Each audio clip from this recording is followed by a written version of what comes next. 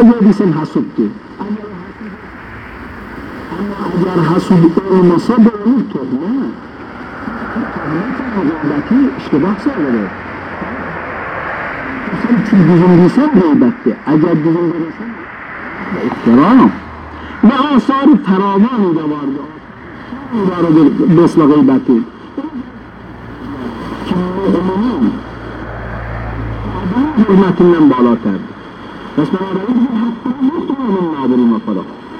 که آدیان حال کنیم نکتی که انسان مؤمن و مکین ارزیابی سخلا اما نمی‌شه این حدود رو نمی‌شه این انسان دقتی حسود دی استاد را تحمل می‌کنه که این مشیر همکاری پیشرفت می‌کنه.